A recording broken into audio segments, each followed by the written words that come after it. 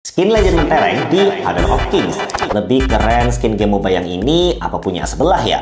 Eits, sebelum lanjut, ini dia si beruntung yang menangin hadiah dari Visi Gamers dari komentar menarik di konten kemarin. Selamat ya! Wajar, iri hati ngeliat ada orang yang punya skin pro di Honor of Kings. Soalnya emang skinnya sekeren itu sih cuy.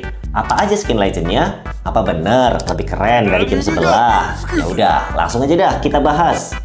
Yang pertama, Doomsday Mecha Severer. Jadi Doomsday Mecha Severer ini jadi salah satu skin legend yang menonjol ya, dengan efek visual yang memukau. Terus desain mekanya tuh futuristik gitu. Selau sih, tapi demen liatnya. Cie, demen. Yang kedua, ada Love in War Smith and Blade. Jadi Love in War Smith and Blade ini ngasih konsep romantis. Terus juga ada sentuhan perang yang epic gitu di dalam desainnya. Jadi unyu dan imut gitu, bukan yang galak-galak ya cuy. Yang ketiga, ada Wings of Freedom Juniper. Nah, Wings of Freedom Juniper ini tuh visualnya elegan dan sentuhan alamnya yang indah cuy. Ideal sih untuk mereka yang menghargai keindahan dalam pertempuran. Waduh, kok Mimin jadi mendadak puitis gini sih?